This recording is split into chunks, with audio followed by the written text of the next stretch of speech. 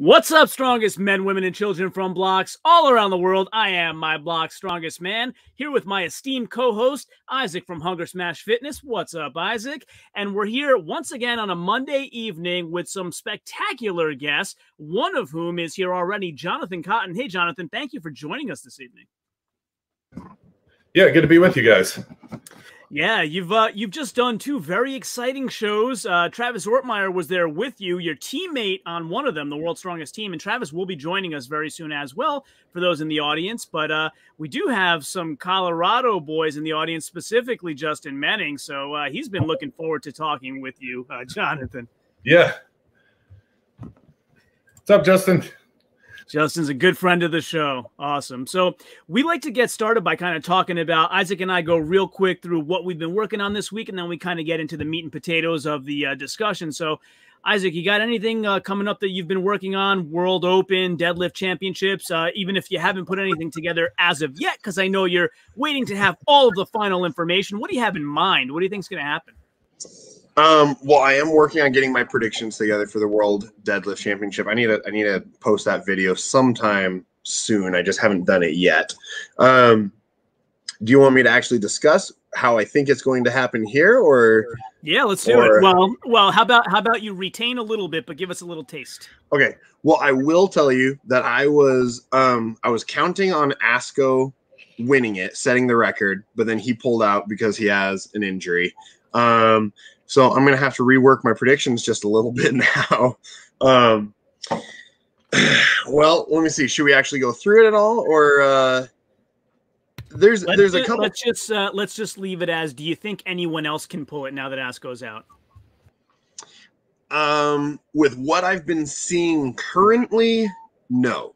I don't think any of the other guys really have much of a shot. Um, Asko was the only one that I, I felt fairly confident in saying that he that he had a he had the best shot. We'll put it that way. Um, I think Payman or Pyman, however you say his name, um, he has potential, but I don't quite see him getting it as of now. Uh, maybe in another year or so, but yeah, outside of that, I'm not really seeing any of the guys breaking the 500 uh, level. Yeah, and Jonathan, I want to get your opinion on this too, uh, if it's all right with you. So, when we have guests on, we typically talk about all the accomplishments they've gone through lately, but also kind of what's uh, contemporary in the sport of strongman and kind of pick your brain because you know you're a thousand times more experienced than I am at this. And so, uh, what do you think about the World Deadlift Championships? First of all, do you agree with us that Asko was the front runner? And uh, now that he's out, do you have an opinion on what will happen? Yeah, I think uh, th- I think uh, uh, c- he's covered the deadlifter right on uh, Instagram. Um, yep. Yep. He he looked from his training, and then and then uh, Pavlo. I think it's Novachenko or something. I'm probably butchering that, but um, uh, both of those guys looked pretty good. I would say probably probably Karu was the front front runner, and uh, P- Pavlo may have had a good shot at at uh, you know high, high fours, maybe like you know 485 something like that. Um, from what I've seen from uh, uh, Makarov, he in his uh, triple ply suit, he looks pretty good. He's gotten close to 500 several times, but in recent months, um, I haven't seen any attempts really anywhere close to that. So I'm not sure where he's at as far as uh, his current max ability. So yeah, I think I tend to agree with you guys. I think um, we'll probably see some good numbers, maybe a maybe a 480 or something, but I, doubt we'll see anybody break um, 501. Yeah, I think uh, the weights that they're doing 475 is the next step down from the 505. So it, it seems like oh, yeah. right right from 475 to 505. I think uh, Makarov and uh, Pavlo will do 475, but I don't think anybody's yeah. hitting 505 now. I agree. I think I think you're right on that. Yeah. It'll be interesting to see some of these guys that we're going to do the deadlift only are now going to be in the full contest, and some of them we haven't seen before in Giants Live. So I'm really looking forward to that. Yeah, I think yeah, Makarov is one of them. Yeah, I think that's really exciting seeing some of these guys doing the full comp. Um, I was going to say too, Rhino, I think, or Rauno, or however you say his name. Um, I think he has a decent shot at getting the 475, but he's kind of seemed off of his game lately too. So I'm not sure if he's maybe he's not showing his best or or what have you. But um, if if he's coming in in shape, I think he can definitely I think the 475 is is achievable for him, attainable for him. I don't see him getting the the 505 though. And then, uh, just so everyone's aware, we have our other guest, Travis Ortmayer, who I will bring in to the uh, telecast. What's up, Travis? We're talking What's Denver World Championships. How you guys doing? Good. How you doing? Doing well. Just got home from a workout, so. Well, thanks for joining us, man. Seems like we're always uh, grabbing you when you're uh, when you're busy with something. Thanks for joining. We really appreciate it. I don't know how that's possible. I don't feel like I'm very busy in normal life, so only when we're on the road and getting to see national parks and go to saunas and jump in cold rivers and shit like that. Sounds yeah. great. It sounds great to me, man. what was up with uh, with all the golfing? That looked like a ton of fun. Was that part of the competition, or was that you know, something afterwards? That's just something we did before the day before uh, Portugal.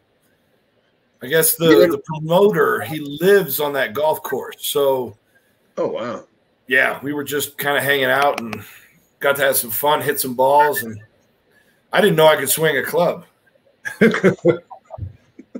you didn't have a contest to see who could hit it the furthest or anything like that, or I don't think we had an official one. I'm pretty sure we had. You know, everybody was watching who was the best.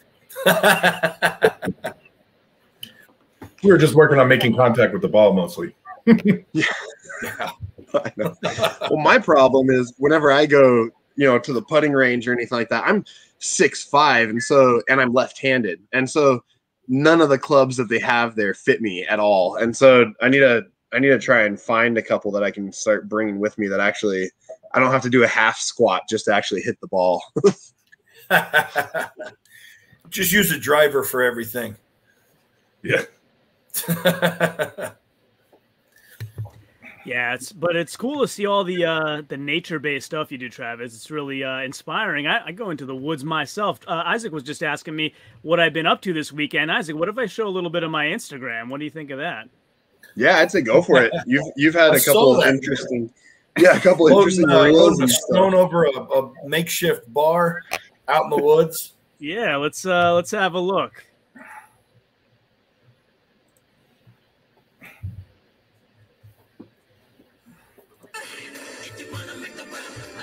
Yeah, there it is. How heavy was that? No idea. 170 kilos. I mean, you pressed it overhead like it was nothing.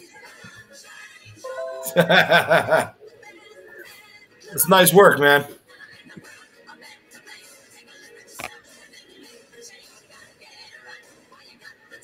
There you go. Here comes the big one.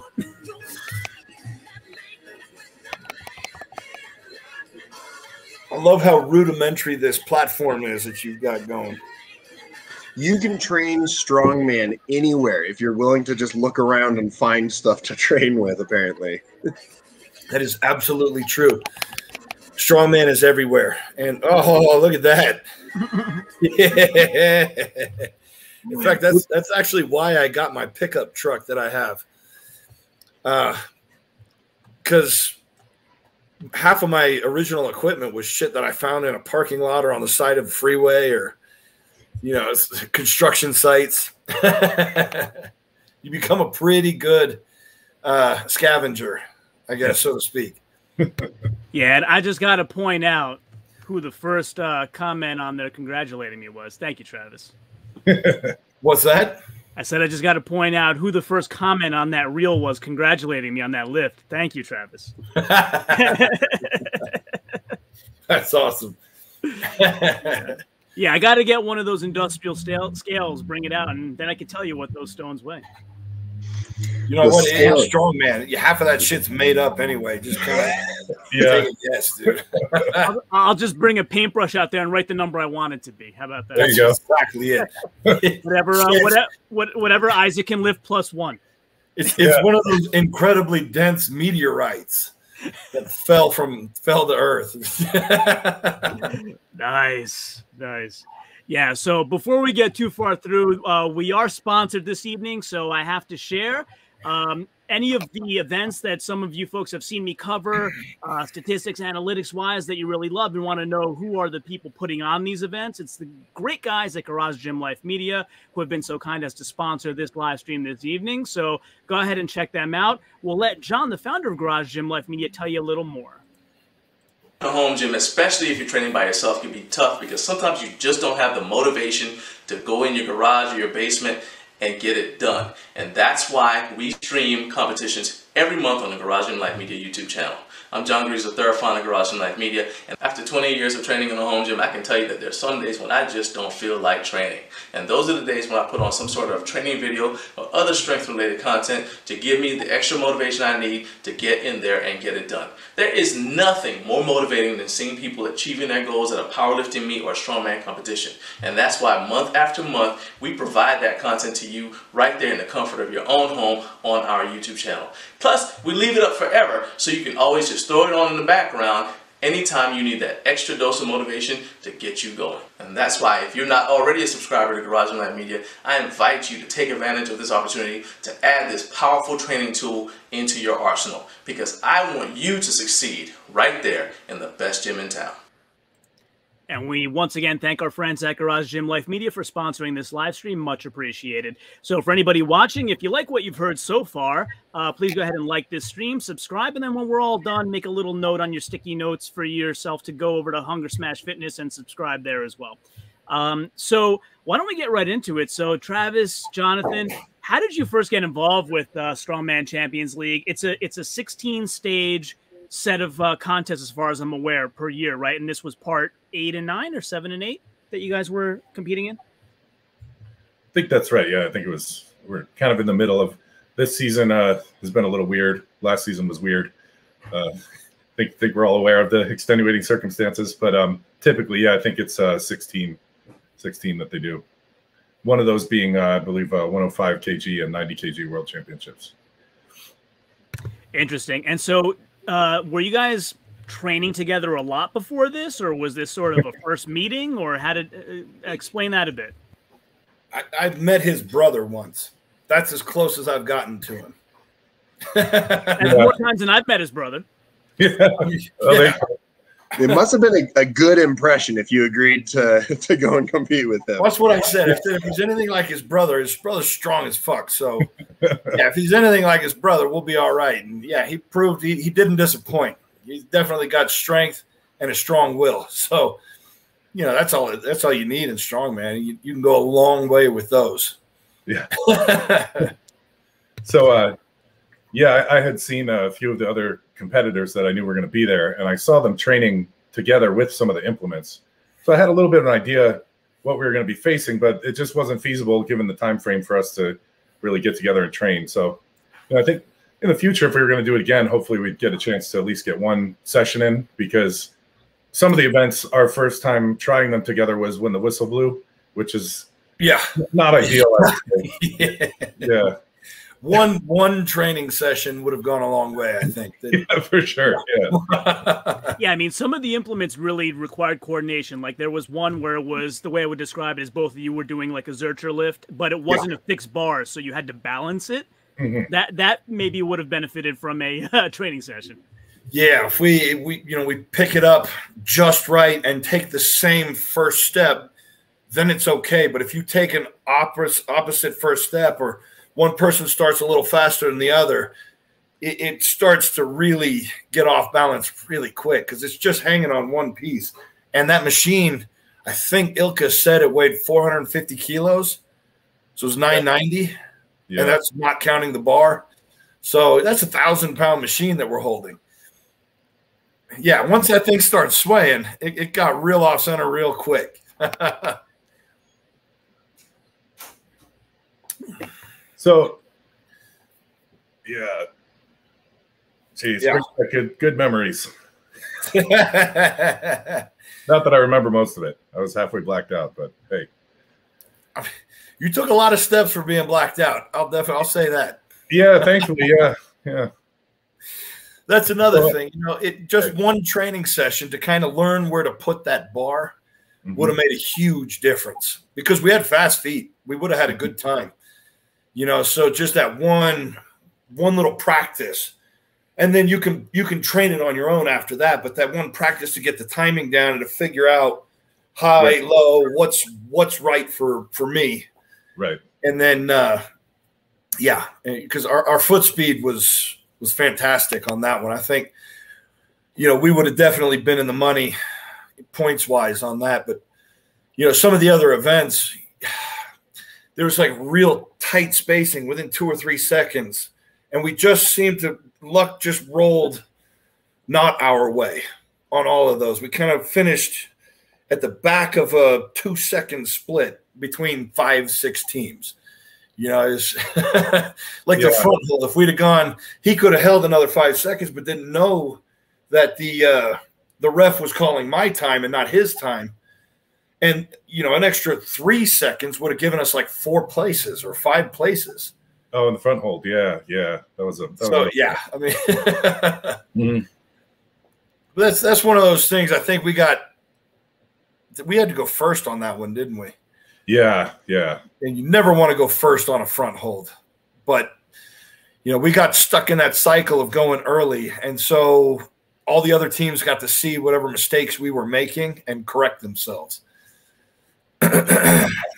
I will say though that the implements that they chose uh, looked fantastic. Can, can, I say? Those can things I say look awesome. ever? Yeah, yeah.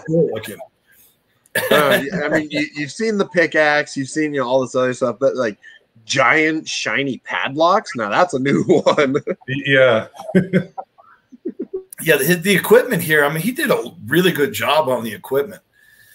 You know, the super yoke with the girls on either side, the, uh, front hold locks, the two man log, and then just the creativity that they used for that Forester machine you know, one guy being on a pulley and the other guy doing straight weight.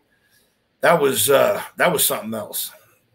Yeah, I was hoping you guys could talk a little bit more about that because watching it on the video, like it just looks um confusing. Because I mean, because Travis takes off and is blasting out of there, and John's hardly moving. So I mean, maybe John, maybe from your point of view too, maybe talk about the mental uh mental game that that's playing with you, seeing Travis just disappearing into the distance and you're you're hardly moving with that. Um, yeah, yeah. So this um this particular machine uh I, I do it's used for logging or something. It's there's a, there's a John Deere plant in in Joensuu and I think uh, they were one of the contest sponsors, which is which is why they used it. But they have used this machine um two in the two years previous for the SCL Finland stage, just the normal stage, not a team competition. Uh, the first year they used it, I think they nobody even maybe one person got it like a meter. So it was you know everybody was getting kind of uh, a meter in centimeters for their distance. Nobody had finished the course, and that was just a traditional uh, harness hooked up to the hooked up to the machine. And so then the second year they did it, they they used a they attached a pulley to the machine, and then had a rope attached to the same attachment point where you're pulling from, and then it comes around and loops and attaches to your harness. So as you're pulling, you're kind of pulling against the pulley and then and then the the rope is moving like this as the truck slowly moves forward if that makes sense so you're going the same distance yourself but the truck or the machine is only going to go half the distance. So what they did for this one was kind of combine those two concepts in a two to make it a um, capable of a, a two person pull.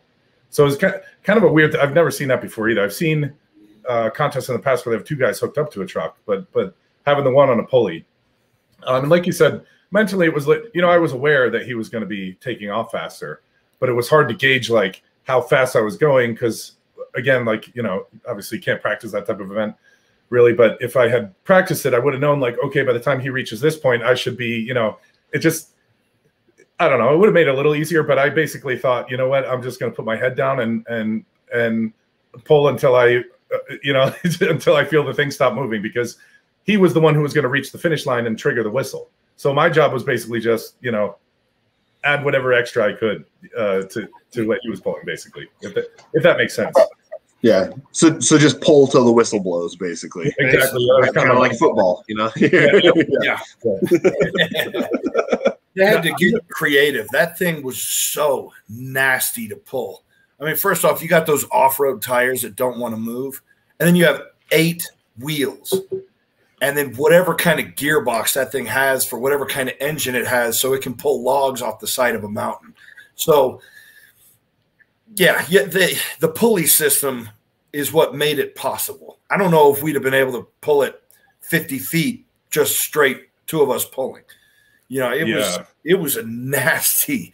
It was only something like 18 tons or something like it was like you know 35,000 pounds, which is, heavy in its own right, or 40,000 per 18 metric tons. So that's heavy in its own right, but it's not that heavy for two men. That would be a sprint for two men. So that thing, it fought you. It was like it was like the guy had it in reverse. you know, and you had to fight that pull the whole freaking way. It did Well, feel one that thing way. about the pulley is it was a you know a regular one inch nylon rope, so there was a whole lot of spring and give to that anchor, and you know being I set up too far off to the side, so I had this angle that when I started, it wanted to pull me to the side and like take me off balance, which is why you know for a first three to four maybe five seconds it I didn't feel like I was pulling worth a shit because I was trying to figure out the, the mechanism and then and try to stay low because it kept pulling me backwards every time I did a step. So once you could see it after the start, after you know five seconds in, I really get down and I'm you know I'm at the angle that Jonathan's at pulling. You know he's got it figured out because he's got the regular pull, and then finally you know my brain wraps itself around it, and uh, we end up with a really strong finish. But I feel like if I'd have gotten my feet under me faster, because again, that was one of those two to three second things. If I'd have gotten my feet under me faster, we would have won that event, hands down.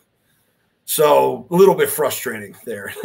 and that just kind of sums up the whole contest. Like one minor little change, and we could have won the damn event. But yeah.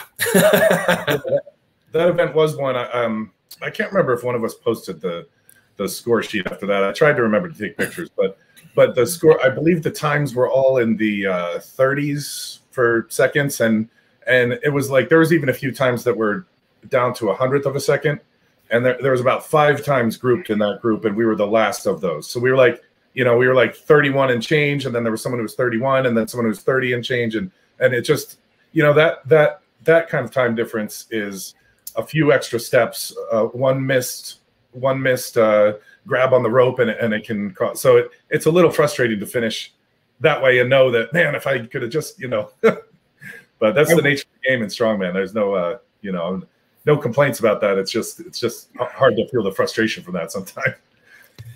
Yeah, we ended up. uh Oh crap! I don't have the placing on it. That that Yeah, had us in fourth place overall, but uh, I don't have the times. Sorry, never mind. yeah, yeah. I forgot to forgot to take a photo. Yeah, I was trying to take as many pictures as I could, but yeah. I was gonna say you guys are talking about kind of being a little bit on the wrong end of certain things, but then uh, then the sandbag toss came to play, and that pattern did not continue. yeah, we did that one right. We did that one right. There was what nine bags? There was four black bags and five Cerberus red bags. And Cerberus have a shorter strap. The black bags had this longer strap. Totally different pull. So the teams that tried to jump from one color to the next with the same guy usually ended up screwing up one of those throws because they were trying to do it the same way. Now, if you watch in the video, my pull is a lot longer. It's a lot more swing. and then, see, you really got to get the timing of that bag down because it's like six inches longer. So as soon as, you know, I finish the four, I tag in Jonathan, and you see those straps are a different length. So he was just in the warm ups, he practiced those, and I practiced the black bags, and we just kind of went for broke. Like, look, you're going to get all of yours, I'm going to get all of mine, and that's just how it's going to work. And you know, the gamble paid off. He he nailed that last one, and uh, yeah, I think a couple teams. Their pace was a little bit faster, like especially Dainis and Aivars, but they missed one. So they ended up a couple seconds after us. And, you know, that again, Aivars, I think it was, went with four of the black bags and one red bag. And as soon as he went with that red bag, it screwed it up. So Well, and then I mean, I love the celebration at the end as well. That's definitely you know, that was the highlight of the video there. so to, um, and to get to give a little background on the contest too, because I know um, before I competed in Strongman Champions League, I wasn't really aware very much of the contests they did and everything. And uh, and I, I think um, just because a lot of the strongman audience is UK and US based, um, at least you know the YouTube and TV audience.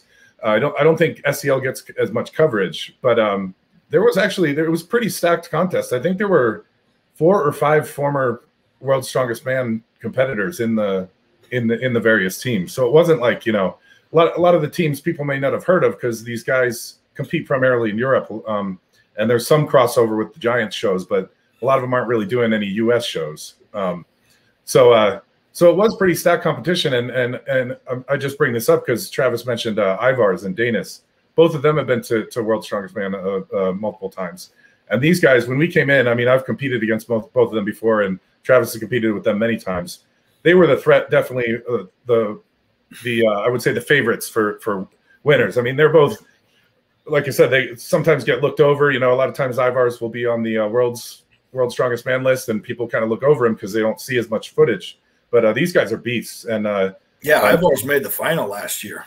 Yeah, yeah, and so and I had seen uh, both of them throw before, and specifically Dainis is uh, very explosive, and uh, so I was I was thinking like you know after we I believe they went after us, and and I was thinking you know our time was pretty good, but but they might they might uh they might blow it out of the water. But the trick with throwing events is you want to be smooth and you want to make zero mistakes. If you go real fast and make a mistake, it doesn't matter how fast you went. Now you're because that little mistake and an extra throw adds on so many seconds that all the other guys are gonna, you know what I mean? So it's it's one of those kind of tricky events where you really have to be you can't go totally all out, but you have to go as fast as possible while remaining smooth and keeping your form. Um, but uh, yeah, went our went our way. The we had kind of messed around, like Travis said, with the bags. Uh, we got to practice a little bit, and that one, the, they were, uh, I believe it was 22, 24, 26, 28, which that comes out to like 50, uh, roughly maybe like 50, 55, 60. 28 uh, would be a little over 60. Yeah. Two or something. And then the last one was 32, which is uh, 70.5. Yeah. That I had never really, I haven't really trained with bags that heavy, but when we were practicing, I thought, you know what, let me just give it a shot. And it went over. So I thought, okay, I know this is possible, you know? And uh, so our, we kind of went in with the strategies. Travis has got longer arms and he's got more throwing experience than I do. So we said, okay, you take the more difficult ones, the ones with the with the longer straps, like you saw him do, and then I'll take the four corresponding Cerberus bags. And then depending how I feel, if I if I pick up the other one, it doesn't feel good, or if I go for a throw and miss it, I'm not going to waste time throwing and throwing and throwing because with you guys have probably seen, but with explosive strength, it, it falls off very quickly. So a lot yeah. of times you'll see a throwing event like World's Strongest Man, and the guy will get up there and he'll miss and he'll miss the second time, you pretty much know it's over. The guy wants to keep trying, but you you can kind of tell the explosive strength just falls off so quick. So I was getting ready to tag him, but I picked it up and thought, well, you know, this feels pretty good. So I just went for it and boom, went over. So I, I was almost like a little surprised too. So I think that's some of you saw, some of what you saw in the celebration was like, oh shit, wow, we really, uh, you know, really ended up killing that event. So it was a, a nice feeling after having some, like like we mentioned earlier, after having some uh, unfortunate finishes. How high was the bar? Uh, 4.3 meters, which is like 14, just barely over 14, I think, 14 feet. I can't imagine throwing a 70 pound weight that high. Kudos to you guys. yeah, yeah, like a small adult, basically, you know, throwing them up to a second story. So it's kind of that's crazy. Yeah. That's crazy. You, uh, because John, you work as a nurse, right? So, so do you brag about that to your to your patients that you're like, well, I I hurl seventy pound bags over fifteen foot bars or whatever. If only if they were unruly. Yeah, yeah. yeah. don't mess with me. We got, you know. Or that's sometimes I'll have a heavier patient that uh, you know, elderly patient or something that can't be can't move themselves, and they'll have to move up in bed, and they'll say, "Oh, we need to call the lift team," and I'm like, what they only weigh you know 100 kilos or something. That's, I am the lift team. I am the lift. yeah, yeah. Like, don't waste your time. Take a lunch break or something. You know. By the way, so, uh, Tra- Travis, a question for you. Brother Mister wants to know uh, how was it having Oberst stay with you for a few weeks before Worlds? Oh, Oberst, Oberst is a good guy. He's uh he's a good training partner. He's a lot of fun, and uh, you know we did a lot of his YouTube thing, which is always fun, like the the sushi eating challenge. but yeah, Oberst is a good dude, so we had a good time. Yeah, I saw that one. That was a fun one. Had you met Oberst before that time? Or I don't remember Yeah. if you guys ever competed together or anything. Yeah, I met him when he was still an amateur rookie. Mm. and then we were we did a uh, pilot for a reality show back in 2012 and the show fell through because our contact with a&e was also the same guy who worked with duck dynasty and that's when the duck dynasty guy said all the crap about gay people and it kind of ruined that whole connection so the show never came out but you know oberst was a part of that and uh you know, maybe he'll he'll hit me back with the favor on uh, you know the history's strongest men. Yeah. Just out there. But uh, yeah, I've, I've known him for years. I hadn't seen him since then until I want to say it was like 2018, 2017. He and Cale Beck drove through here and you know we reconnected, hung out, and then he's come back through. He's got family about a half hour outside of Reno. So anytime he visits them, we train together. Was his head the same size back then, or has it gotten bigger as time goes by? You know what? I think he's always had a really big head, but his haircut doesn't help. It was shaved then. It's not shaved now, and his hair just kind of grows. yeah, I I got to. He showed up at one of the competitions I did a little bit ago, or that I helped out at, and um, first thing like when he when he walked up, I was like, you know, he's a big dude, but that is a massive head. like that's the first thing you notice about Yeah, him. he's, I- he's got a thick skull. I, I used Yeah. to think Isaac was big until I saw that photo.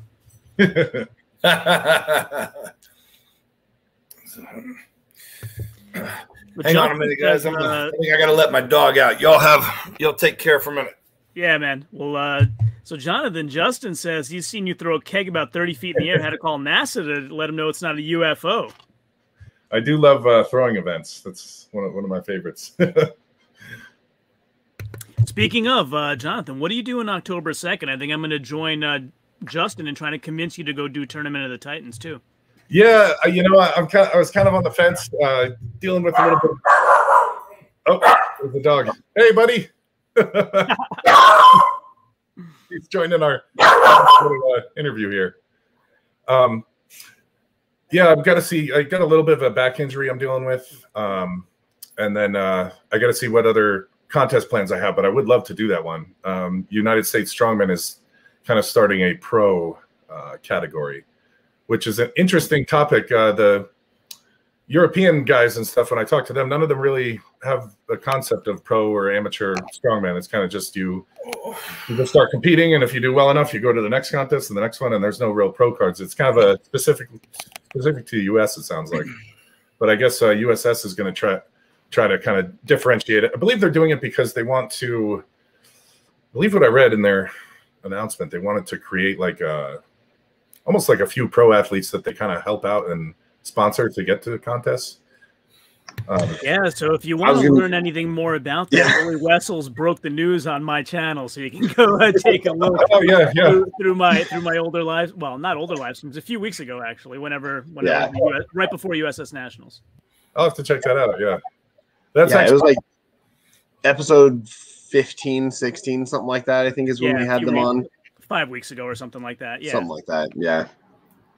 yeah. I've I've um, talked to Willie a few times. That that was actually uh, when you had asked at the be- beginning of the show, but that um, that was actually how I kind of got into SCL. I was competing with USS and went to their nationals in uh, 2018 and won the 275 division, the heavyweight division, and my brother took a very close second. It was like a point and a half. We, I think, and the points were like it was like hundred something. So it was like 109 and 108.5, or what? It was super close. So you, typically they send just the winner over to the SCL Finnish Open. But I guess because we were brothers and we kind of finished close, they sent both of us over, and that was kind of our how we kind of broke into uh, uh, with Champions League.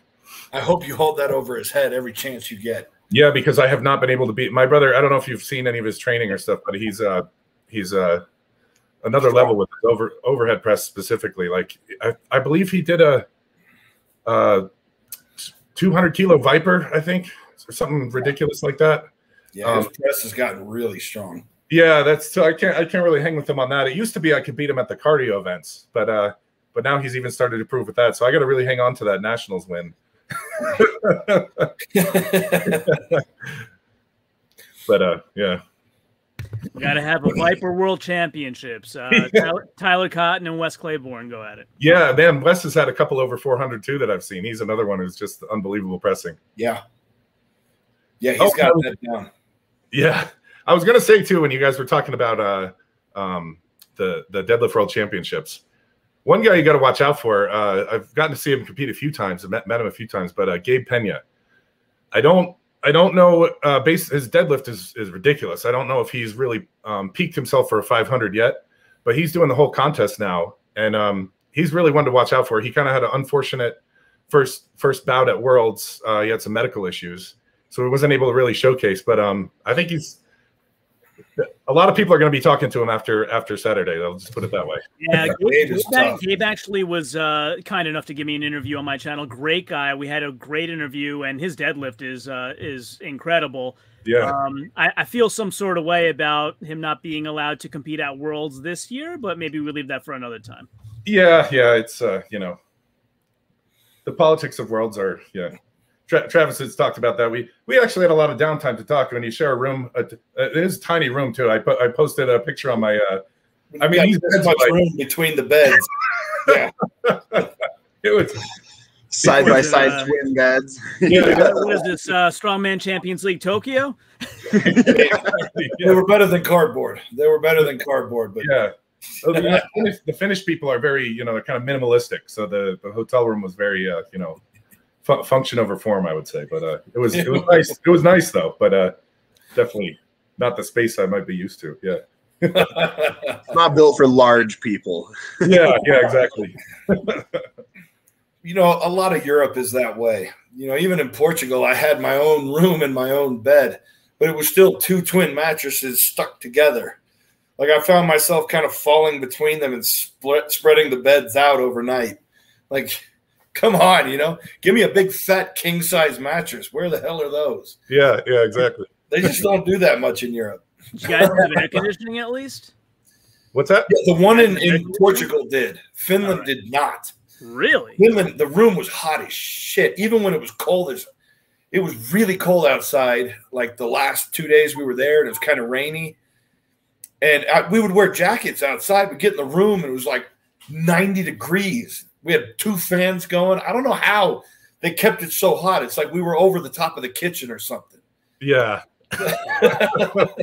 That's great. I mean, yeah, that like speaking of uh, European customs, like I love my family in Italy, but none of them use air conditioning. Like I go there in the summer and I'm like, what are you doing?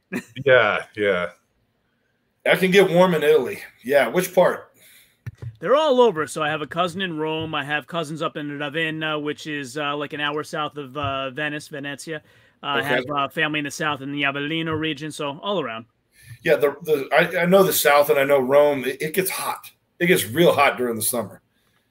Yeah, screw that. No air conditioning. No, no, it's, it's too hot for that shit. They, they Yeah. literally just open the window. I'm like, but it's hot out there too. Like, Right. That's what the hell? exactly it. But uh, enough about me. Let's talk some more about the events because that wheelbarrow thing was crazy. Let's uh that's the coolest looking like I'm going to say about every event at SCL Finland. That's the coolest looking wheelbarrow uh, race I've ever seen. Yeah, I'm not sure what that machine on there was. It was some kind of shredding wood shredding machine. It had two big spinning blades on the top, and then it was all engine. I think it was something like uh, 770 in the hands, 350 kilos in the hands. Yeah, that's. I think that's what they told us. Yeah. kind of a, a cool event. We had to push it slightly uphill. Yeah, if was one. I was going to be worried about that one for my hamstring, but yeah, I just leaned forward and used the toes, and it was all quads. I just kind of pushed off. But with that wide base, it was easy to steer, so you could really kind of just lean into it. Yeah, I don't know what that machine was. It was big. and you can see I had a little uh, hiccup there, and Travis is just screaming at me to to get it. So it really helped actually having having someone like Travis there. Uh, kind of made a dive over the finish line. Like I'm gonna make this run as fast as I can because I'm not gonna, you know. Yeah, when Travis was just describing a big machine, I thought he was describing himself. So the mistake with Wheel Oh, yeah, go is, is one of my best events. It's one that I've always been fortunate enough to have really fast feet and a good good sense of direction, I guess, on. the, the mistake with this, you can see Travis finished. Uh, he took off like a rocket, and he was kind of explaining it to me afterward. Again, it was uh kind of our first time uh, um, touching these implements, but I kind of carried it. I picked and carried a little more like a frame carry, like kind of a straight up pick and then walked walking straight. Whereas Travis, like he was saying, kind of picked it up with a already with a forward lean and and got up on his toes. That way, you're letting the kind of the the machine pull itself forward, and you're just kind of keeping up. And so I think if I had adjusted a little bit, I might have been able to go go a little faster. We we still had a pretty decent time because a lot of guys struggled with that, but we could have had a I think maybe a top time with with a little tweak in uh, in form on that. But hey, you know, Because what they did, they took both of our times and added them together. That was our score. And yeah, that's how they did a lot of those events. They did the uh, front hold was that. front hold. We added the times together. Um, the yoke frame, I think, was just one time. They didn't do a split or anything. And I think the same was true with the. Uh, uh, what was the other event with the two parts? Oh no, they didn't need a split because it was a two man carry. So that was just one time. Yeah, I think it was just the front hold and then this one. They just added them together. Yeah, Yeah, is that something unique to Strongman Champions League, or is that like cumulative time something you've seen in other shows? What's that? Oh, for a team competition, you mean? Yeah, like the cumulative time idea. I mean, that's just kind of logistically speaking, probably the best way to do an event like that. You know, there. Otherwise, you do the event together, like two man log or the two man truck pull, or uh, you do separate parts and just give one time with no splits, like the yoke and the frame carry. this is kind of cool. You know, it was a I think it was my second time doing a two man team competition. Uh, the other time was in Russia with a guy named Andy Vincent. That was the only other time I did a two man log, and it was for Max. Um, Is that uh, Matt Vincent's brother yeah, yeah, Matt Vincent's brother. from uh, Hate Brand? Yep, that's him. He's like a Highland Games, uh, right? Wasn't he in Highland Games too, Andy? Iron Games world champion. Matt was a world champion. Andy Right. is uh, he's definitely professional, and I don't know what level he got to as a pro. but Yeah. he's a damn good athlete, really good. That was why I picked him for my team. He was a former NFL player, and I know if you we if we went to Russia, Russia was going to try and screw with us some way. Yeah. So I Yeah. needed somebody that was going to be mentally tough to do it. And we actually, the flight got well, no, the flight didn't get messed up. We had the wrong visa, so we had to spend an extra day at JFK, running to the Russian embassy, getting a different stamp and a different visa and almost not getting it because my passport was completely full. And you know, it was the second day we were there. We getting our passports back from the embassy, and this Russian guy is handing the passport back to Dion Wessels because she was helping us out. She was our coordinator. He hands Andy's back and goes, "Oh, his uh, his problem with with this passport is uh, no room." And I was like panicking, going, "Oh shit, we're not going to go because my passport's full." And as he thumbs through, I see the last page only had two stamps on it. I went, "I don't see anything on that last page." he goes, "Okay." Slaps the visa in there sticks, gives it to me, and we were freaking off, man. but then, uh, because we were on a different flight, delayed, we ended up getting to Russia four hours before the competition started. So we had time to get some shitty white bread and mayonnaise with celery or something on it sandwich, put our stuff down, and then go to the competition site.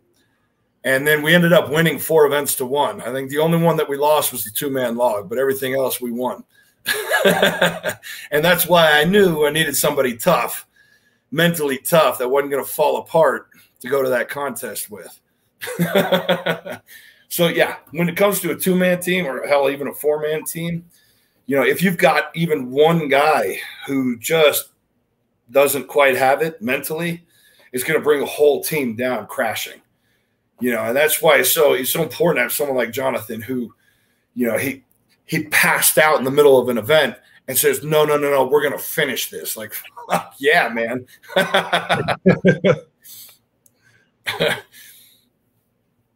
That's awesome. Yeah, it'll be. I've never seen a team uh, show before this, and it was awesome to watch the team dynamic, and also like like I said, the implements they chose were just really cool looking. Yeah, Ilkka puts a lot into this show. It's always a good show every year. Yeah. So that's the first of the SCL uh, shows that I wanted to talk about this evening. The other one, Travis, uh, I won't bury the lead. You went on to win. Like I'm crowning you the king of Portugal now. Not a bad place to rule, that's for sure. It was beautiful there, man. We, we got to get we got to get you a crown so you can uh, alternate your uh, your typical cowboy hat and crown another day and switch on and off. I'll take that. no, it was it was a good contest for me. I you know I was fortunate to have you know a full week of rest because I kind of tweaked my hamstring. Obviously, I tore it at, at Worlds, um, but I, I felt it kind of light up a little bit when I was warming up for the yoke in our yoke frame carry uh, two man medley, and um, yeah, just I I just babied it, took it you know day by day, and and did whatever rehab I could on it, and then uh, really I just I had a little talk with myself on the bus ride over to the competition because we had about a 30 minute drive from the hotel to the contest site. And I'm, I'm just, I don't know, I just kind of zoned in and was halfway asleep. And I was telling myself, you're not going to have any pain. In fact, what you're going to do is you're going to turn that little piece of hamstring off and you're going to use everything else. It's not even going to activate. You're going to use everything around it. You're going to go as hard as you need to because you're going to kick ass and we're not going to have any pain. No pain, no weakness, only strength and power. And I just kept repeating that to myself throughout the day, and it paid off, as you can see there. so, yeah, I think, uh, you know, that kind of set the tone for the day. And then that deadlift just felt perfect. The deadlift was just the right height for me. It was one of those days where just, you know, all cylinders were firing. And I think the, the reps to beat was seven, put up by the guy who won the competition a couple years ago, Oleg uh, Sika or Silka. And he did seven. And I saw how some of the other guys were doing. And I saw the guys who were supposed to go after me. And I knew that if I beat the seven, that was going to be enough. So I just kind of went out there. I kept telling myself eight, just repeating it eight, eight, eight. And the whistle blew and shit 20 seconds later i'd won the event. So it was it was a great start let's just put it that way.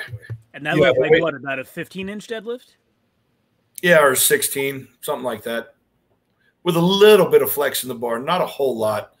But i could see if you you know if you started to struggle or if you got a little forward on your toes and it started to wobble it would really screw with you you know, or if you if you were a real fast off the floor kind of puller and then slow to lock out, it would bury your ass because you get that whip and it would just take you right back down to the ground. But you know, for me, I just I'd pull the slack out and then just fire and, and my lockout's really strong. So it just every rep just felt really good. I just timed them perfectly and you know, it was all for me, it was all ass. It was all glutes. I didn't even feel my hamstrings on the whole thing. That's all. And Jonathan, you competed at that show as well, uh, like we say, a week after Finland. So, how did that deadlift go for you? What are your impressions? Uh, just about the opposite, I would say. Unfortunately, I had a on the, I don't know which event it was. I think it may have been on the frame carry, but I had like a like an SI joint injury, which I've I've dealt with in the past, and um and and it's it's frustrating because it's not a real injury. It's not like a torn bicep or something. It's like a you know, but it's. I'd call that a real injury when your yeah, leg doesn't work. That's a hell of an injury. yeah, it was kind of shooting down my left hamstring and almost felt like I could, or my right hamstring almost felt like I couldn't like contract. It was in a lot of pain and everything. And but I thought, like Travis thought, uh, like Travis said, I thought, well, we got a week off in between. Maybe I can. But like all of the sitting on the the travel day from from Finland down to Portugal was brutal. Um, and we we had a we got up I think at four thirty in the morning to get a, a five something five five a.m. train. Took that that was like a five hour train or so to get to Helsinki airport. Then from Helsinki I was flying to Amsterdam. Had like a little bit of a layover there. Then finally Amsterdam to Porto. Travis didn't even make it to Porto that, that day. Yeah. He got stuck in the airport, and and I didn't even get to the hotel. So we woke up what what like you know 4:30 in the morning. I didn't make it to the hotel in Portugal till 11:30 that night, and just all the sitting like really just beat my back up. And so the um yeah, it's real fun to watch watch uh, somebody zero. but this this same setup I did two years ago and got three reps. And the way my deadlift training had been going leading up to this, I thought, man, you know the the way everything's feeling, I think I might be good for five or six.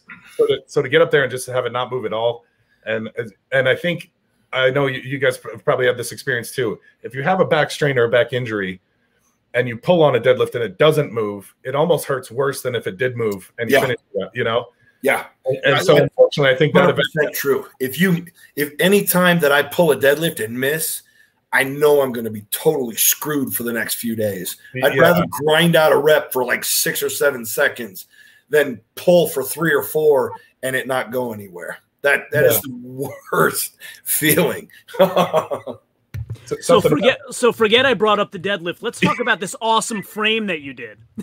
Yeah, so the the the frame I, I I determined him, you know, I, I, zeroed the first event, and and I've had contests before where an event didn't go my way, and I really got kind of down in the dumps And then I ended up doing well anyway. So I thought, you know, regardless of how the day goes, um, I'm gonna have a short memory with this. I'm gonna forget this event and and turn it on for the next. And I'm not quitting. I'm not gonna. I'm gonna finish the contest regardless how my back feels, even if I have to, you know, wheelchair through an event or something. But um, so, so I was I was determined to, to keep going. Uh, and then and this event actually, the the frame was light enough that I was able to to pick it up and move even with the with the the lower back and the hamstring. Um, so that was that was a little encouraging. The other thing I was thinking too, and Travis and I talked quite a bit about this, uh, is just the opportunity to be in a setting like this. I was trying to really absorb all of the the size. I mean, it's a beautiful location, and as you can see, this company MSF Fitness they make some really awesome looking equipment. So I thought, you know what, I'm going to enjoy this experience try to do as best as I can on the rest of these events, even starting off with a zero. And and thankfully, this frame did go pretty well. It wasn't a wasn't the top time, but uh, um, but I felt pretty good about it. So it was a cool frame to watch, anyway. Yeah, yeah, really good frame to use, and it's really cool looking. Yeah. Yeah. And by the way, for anybody watching who has not yet liked the stream, what are you waiting for? Like the stream, subscribe to the channel, write down in your little notepad to go over to Hunger Smash Fitness and subscribe there when we're done here. All good things. We deserve it. We work hard. Come on. All right. moving on. Yeah, moving on. There was some circus dumbbell at that contest as well. Uh, we want to take a look at that. I think we tied on that one. Yeah, we both little bit of a frustrating event, I think, for both of us. I think we're both yeah. capable of some more. If you see the videos, we both had some real close, like you know, here when it needed to be here, kind of lockouts. You know, like, but um, nice looking dumbbell. The the problem with it was the handle was. I'm used to training on like a two and a half or three inch, so like Coke can basically. This one, uh, I don't know if it's smaller than that. It felt smaller, and it was a long handle. So normally you fit your hand in there, and you got only about that much room between the the bells. This one you had I don't know. I, th- I want to say it was like maybe a maybe a six inch uh, handle. So there's a lot of um, that means you can't brace your hand against the side of it. There's a lot of wiggle room this way, if if that makes sense. See, personally, for me, I liked that better because I got really long forearms, and it just fits me more comfortably than those short ones. Because the, the short ones end up making me, and I think this is why my dumbbell has sucked so freaking bad the last couple of years because I've trained with one of those, and it just screws me all up, and I have to pull the whole thing way out, and then it gets really, you know, heavy out here because I can't get it in there. If I if I try to get it in tight, I get so jacked up in, in the forearm and the shoulder that I get this horrible ripping feeling in my shoulder. So, yeah, you know, but but no excuse. I could adapt. And in the warm ups, I felt the spot that I needed it. I just only hit that spot on one rep. So, but you know, coming back next time, I think I would take more time between each rep and think about where I've got it. And then uh, I think just in practice, I need to really work on my footing because I just felt like I was getting pulled forward on my toes every time. And then that just sucked the energy out of my legs. So just, yeah, just one excuse after another. My dumbbell sucked. There you go. oh man, I'm bringing up bad feelings. Which event would you like to discuss? How about that? I, there know, was a tire flip. What'd you think of the tire flip? Personally, I liked that last event. It was a drag race. It was quick. Oh yeah. And the tire was really nice. It was a brand new tire, so you had lots of tread. You can kind of grab the sides of the tread rather than open your biceps up and have to grab the bottom. You know, this is where it gets dangerous. If you can keep your hands turned, yeah, that was uh, it was a really nice tire. It was about 900 pounds. Yeah, and it was just tall enough the where you, you want it to be uh, the width of it to be tall enough that you can get your chest up against it and start the motion by driving into it with your chest rather than pulling up with your biceps because it's a kind of a risk for a bicep injury on this type of event. And it, it was a nicely balanced tire that way. On my run, unfortunately, this is what I was talking about where I said I'm going to finish no matter what. The guy I went against, I competed with him a couple years ago too. Fabio Silva, he's a Portuguese strongman, real, real strong, real strong kid. Um, he had injured his lat on something and I was dealing with this SI joint thing. I mean, I could barely walk without a limp, but I thought, you know, I, I'm just going to get these freaking sandbags. Limping, with the sandbag. yeah, yeah, it was awful. Um, it, luckily, one of one of the guys there had some had some uh, pain meds. Uh, didn't ask any questions as to how he was able to get them. Definitely controlled substances uh, from from my, my, knowledge of meds from the hospital, but um, that helped a little bit. Uh, but it was still quite quite a decent amount of uh, pain in, in my back and hamstring. But um, but with just one event left, I mean, you can't, you know, you got to have that mindset of just, just, you know, not, you can't quit. You gotta, you gotta finish. You know what I mean? So, yeah. And I normally love sandbag carries. That's one of my favorite events. Anything where you gotta pick something up and run around with it. I mean, I, I love events like that. We so. kicked ass on the sandbags in uh, in Finland. We had a little. Yeah, that's true. That event. That was one thing. Well. We had a little mishap, uh, misunderstanding with the referees. on the the sandbags in Finland, there was four of them. He was supposed to do two. I was supposed to do two. Uh, we asked beforehand because I had the injured hamstring, like, can he do three and me just do one? And the referee said yes, but I think he misunderstood exactly how we intended to do these because I was supposed to at least attempt the second one before tagging him in to finish.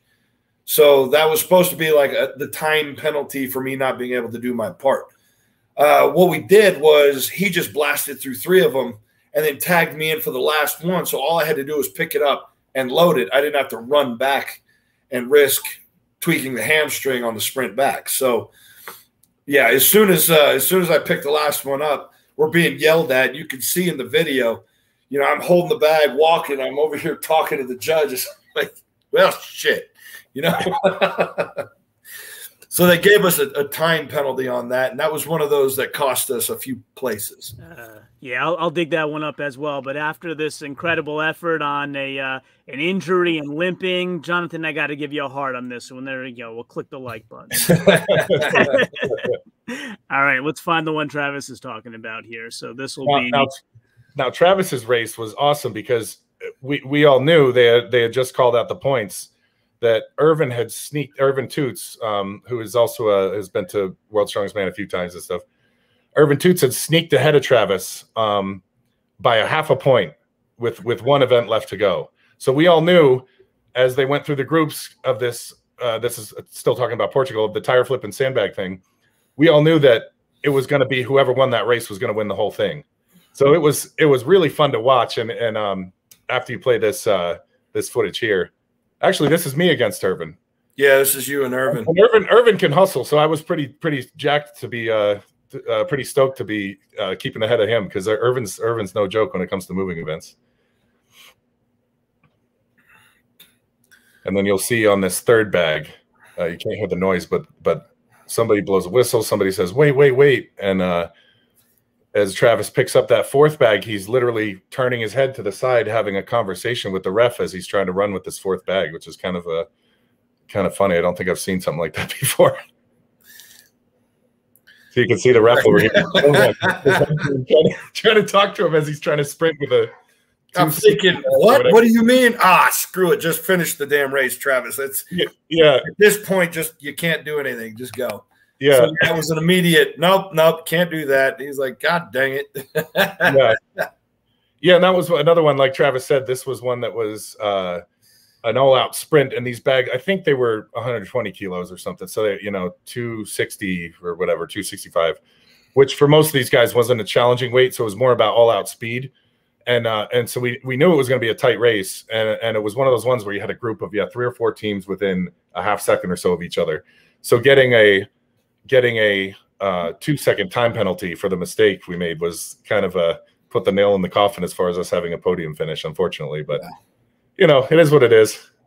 We still, I felt good about that run. I thought, I thought we hustled. I thought Travis did awesome having the hamstring injury and still, still booked it down there with that bag. So I was, I was still proud of us, even with the, with the, the broken rules there. yeah, live and learn. Live and learn. Yeah. yeah. Yeah, that's awesome. So, just a quick reminder anybody in the audience, if you have questions for Travis or Jonathan, feel free to let us know. We'll pop them up on the screen. Um, but yeah, was that, did we get through all the events? Well, yeah, I think There was Oh. the uh, the last one, me versus Ervin. That's a fun Yeah. one to watch, I think. if you want to show that video, I think it's, Tra- I think Travis has the, it's uh, it on his Instagram. Yeah, it's on, it's on But, your but that one was yeah, like all of us other competitors were were on the edges of our seats watching it too, because you know everybody who competes in strongman obviously is a fan of strongman also, and this was just Yeah. a fun event to watch because you knew it was two really fast guys down to the wire. Whoever wins this event takes the whole thing, and it was like you know it was a cool moment to watch. Yeah, you want to point me to it, Travis? Uh, you have to scroll Probably, scroll up probably your most recent post, right? Or close to it. It's uh, keep going, keep going, keep going. Uh, yeah, after it's There it in the middle there. with the two tires, yeah. I see. Yeah. go. He definitely had the better start. Pulling it down was a better Yeah. way to go. That was a good idea. Yeah, I, I hadn't seen anybody else do that. That was creative. But I knew if you lined up right and flipped it one motion like that, that was the key. All I needed to do was line my hands up right and get set and then do it in one big flip, and I was going to be able to make up good time. And then, uh, So close. I forget what the times were, but within a second of yeah, I mean it was like yeah, was a, a drag race for sure. Yeah. It was uh, once I saw, I don't know, I, something in me said once once I pushed off the tire, just that split second before him, I knew I was going to have that one. I knew I was going to have it because the sandbags felt right, and I was 100% focused on him at that point. There, I didn't even know where he was until I loaded the second one, and I noticed he was behind me. So I just continued with my momentum up on top of the tire, and you know the rest I just kind of blacked out after that, and whatever happened, yeah, like that shit right there, that that just happens. That's when it just happened. Was he? Did he come in second? Was that for? uh Pretty sure we had first and second on that event. Yeah. Yeah. Yeah. Yeah, he did. Yep. Half a point. Wow. And then yeah, he was a half a point in front of me going into that event. So yeah, I had to win that in order to win overall. And he, well, he had to win it to win overall. So there was no chance of a tie, unless no, there was no chance of a tie. Right. Yeah. Um, so yeah, it was winner take all, you know, and that was one of those I kind of I had another one of those little talks with myself uh, just before that and said there's no pain, no weakness. And I just turned the hamstring pain and off. It was gone. It didn't matter anymore. This was the last event. Even if I felt something, it wouldn't have mattered you know, I was going to go 100%. Thankfully, you know, nothing happened. You know, I, it, I felt really good the whole day on that, but, uh, you know, thankful, you know, probably because of that little talk I had with myself on the bus, but, you know, it just, uh, it was one of those times where everything worked out, man. I was wondering who you're talking to. I'm just kidding. He's up in the front seat, just talking to himself like a homeless guy. Like, yeah, it's no, I mean, so the the one question I have for you is this: When you talk to yourself, do you think that you're as interesting as we think you are? yes. I think I'm the funniest person in the world, which is why if you ever see any of the bullshit that I post, I really post it because I'm laughing my ass off at it. And hopefully someone else finds joy in it as well. But really, I just do it because I think it's funny as shit. You know, like the uh the everybody thinks strong men are dumb thing. I just did that because I was laughing my ass off the whole time I was writing the sheets out. I'm like, this is fucking stupid and funny as hell. And I was having a good time with it, you know. And thankfully, other people enjoy what, what I think is funny. I'm, I'm, the same way, man. I think I'm the funniest guy in the world too. But I'll gladly take third place. So you're the funniest guy in the world. Kevin Hart's number two, and I'm number three. I'll there take that. All right, that's good company. but you know when uh, to get kind of halfway serious for a moment, it's important to talk to yourself, I think. And I've, always had this thing, even since I was a kid, where I refer to myself as we or like let's go. So let us go. I've always referred to myself in the plural form. It's kind of weird. But then I realized that I'm talking to myself as though I've got this little person back here who's kind of sitting back and taking notes. And that person actually helped save me when I was going through all my mess, my darkness back in the day. You know, because uh, it, it's more of a rational note taker back here, and then this part of Travis is just crazy. So he kind of keeps me grounded a little bit.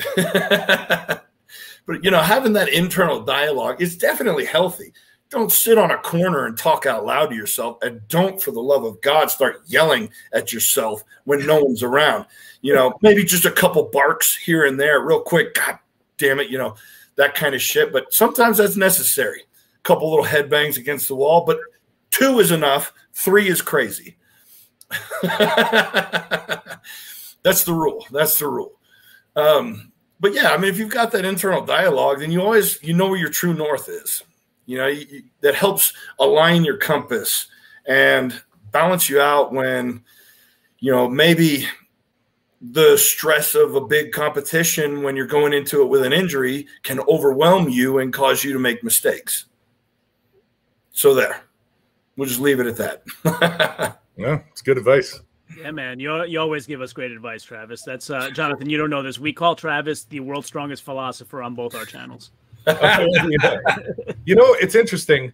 Probably what a lot of people know about Travis is his strongman career, and uh, same with me. You know, I had as when I was younger watching uh, World's Strongest Man and saw his early career and everything. Uh, but it was really interesting getting. We got, like I said, a lot of a lot of time in close proximity, whether we wanted to or not. Um, uh, and and, uh, and we actually did talk quite a bit about philosophy and everything. I mean, obviously yeah. a little bit about training, but I think a lot of people think like you know this is big meathead. He lives lifts lifts weights really well, and that's about it. But uh, yeah, I would say most of our conversation was philosophical topics and you know talking politics and religion and everything you're not supposed to talk about. But uh, it was it was a blast for sure. Yeah, I gotta, I gotta say, every strong man and strong woman I've talked to so far, of all of them, I haven't found a meathead among them yet.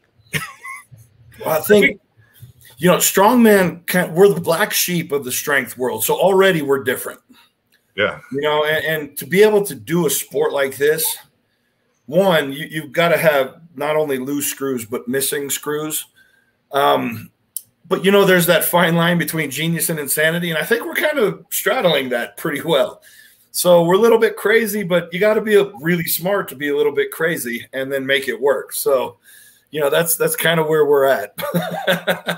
yeah, for sure, Jonathan. So you talked about you you watched Travis's early career. Who else did you watch? Uh, in your youth, and uh, who would you enjoy watching? I just got to say something really quick. Just yeah, for sure. Go ahead. Guys keep coming up to me and they're like, "Oh man, you know you're this and that. I used to watch you as a kid," and I'm like. I mean, that's really cool and all, but you know, yeah. and now I know what it's like for those guys when I started you know, like in particular, Magnus Samuelsson. I was like, you're my favorite. I used to watch you all the time when I was growing up. Like now I'm on the other side of that, looking at it, going, shut up, you little punk. Yeah, yeah. Hey, So listen, anyway, I man, didn't mean to Tra- hijack Travis, I, I watch you now, Travis. That's all I'll say. I watch you Yes. now. yeah. I'm Well- older than I'm older than you are, so you know, just uh take heart in that. all right, fair enough. Yeah, that's that's what I was going to say. Is, is Travis and I are not actually? I think we're only two or three years apart. So it's not like you know I was a little kid and he was. It's just that he started his career long before I I started mine. So in in strong strongman years, I, I my first contest was uh 2015. I was I always tell people too. I I was uh in the novice class and took fourth place. So I like to always let people know that in case somebody new or something is watching or and uh I was pretty discouraged and I thought, oh, I don't know, maybe this sport isn't for me. But you know, fast forward a few years and things you put enough work in, you know, things can change. But um uh yeah, I I, I think I had always watched, you know, when it was I guess would be on around Christmas or New Year's. And I had always watched with my dad, even in the the you know earlier days with uh I think the the first clear memories I have it was when like Mariusz Pudzianowski's uh um when he was kind of at the top for a number of years. And then uh but I yeah, I remember the the era with uh Justin um the era with uh, uh, Travis and and I think he was just a few a year or two ahead of uh, Brian Shaw when he came on the scene and and Derek Poundstone and uh, I really admired those guys, especially um, you know Brian's a great athlete and he's still still in the sport, but but Travis and Derek had had this mentality that you could see come out in contests that that I always thought you know if I compete or when I compete or whatever this this would be the mentality I would want to have where it's like an all out attack. It's not a uh, it's a and this is something that I still try to work on. Um, I was mentioning about my my my brother a little earlier, and his his competition style is sort of, you know, I always say mine is kind of more analytical. Like I try to look at the events and I try to think like who's going to finish where and where should my feet be and where should this be. My brother's strategy is typically like take the gas pedal and as far down as it goes, we'll keep it down there, and that's all he thinks about. And there's something to be said for that. Like there is value in having the the analytical approach, and but there's something to be said about being able to shut everything else out shut out all the distractions and just let that berserker come out. And that's something that travis has really mastered i think and uh, something that i learned that i learned from watching his earlier career and, and guys like derek poundstone and stuff. And but um there's something to be said for for having access to that type of, of mentality uh, for competition because i think it really does help on some of those events you know working through an injury let's say or an event that's not your best and just being able to turn on full gas and you know some, something i've always admired Well, it kind of goes back to what I said about those missing screws. Yeah, yeah, exactly. And by the way, it looks like that Viper was 435. Oh, there we go. So almost. Wow. I guess that's like 197 kilos. Yeah, yeah, just shy of. I don't know. Has there ever been a, a, a 200 kilo Viper on record? The way he moved his feet, though, I think if he if he can like if he steadied himself in the hole and really turned it on and, and charged up, he's got another 10 or 20 pounds in him. Like, watch how fast he does this. Like, there's no pause there. He just goes Yeah. right into it. Kind of doesn't make sense when I when I watch it in person. even. what the hell that's pretty impressive, man. Yeah. God dang. So that's something I need to get up. Is my my overhead ability is absolute sh- crap. So yeah, we didn't we didn't talk. Speaking of that, we didn't talk about the first event, the log press. That was the one that we we did get to practice a, a little bit with the empty log, and I think we have a so. I, I my best press is like just under 400. I've not, I haven't broken the 400 mark yet. I think Travis has gotten over over four. Uh, Not with the log. No, Oh. my log's been horrible lately. but this log was only 260 kilos so you know roughly 130 each which is around what is that? Uh three. 386. yeah oh yeah that's right it's even lighter than three. So we thought weight wise we should be able to handle this but in the warm-ups or, or the, the day before we just practiced with the empty log like we picked it up two or three times. So we had this system where we are going to go up kind of i was watching him out of the corner of my eye he was kind of leading and then we and then do the press together. We kind of press similar ways like if you had a guy who was a split jerk and another guy who's more of a strict presser it wouldn't work so well. But we kind of had a similar dip and drive the problem was that at the bottom we we said you know we'll drop it down to the bottom we'll take a second to reset and we'll but the guys like uh, you know, the other team we mentioned I mentioned earlier, Dainis and Aivars, they were just going right into it. And once we got into our second or third rep, I was thinking, man, you know, we could be doing these faster. Like I'm not really gassed much, and but in the middle of the event, it was hard to to adjust like that. So we ended up, I think we got four reps, and I think the winning team was seven, maybe eight. We came close on the fifth. Yeah, yeah, we came close to a fifth, but that was the other thing. I pressed the fifth, and I was like to here, almost locked out, and Travis was just starting his press. And with the way the the physics work on that, once the one side is up, this guy is pressing so much more weight so if we had gotten to practice beforehand, I would have realized the strategy then. If you see that your partner isn't up, you come back to the chest and then you both start and do it together, then it's easy. So, you know, again, with the, but, just since we had brought up overhead press, I thought since we hadn't talked about that event, uh, um, that was, that was one that, that I think our capability was quite a bit more than what we were able to put in.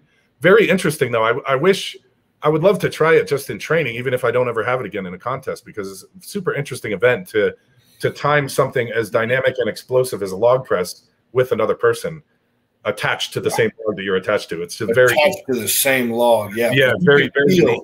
You can feel when the other person kind of engages. And uh-huh. if you're a split second ahead or a split second behind, it's like either it doesn't freaking want to move or it's, you know, you can tell that you're off, you're behind. And if you're behind, you get pulled forward. And yeah, it's, there's a lot to an event like that, especially when you start throwing in a push press. Yeah. Like you were doing. If there's any kind of push jerk, which I've seen, I feel like I saw Misha and another guy do a push jerk on a two man log. How they timed that is just.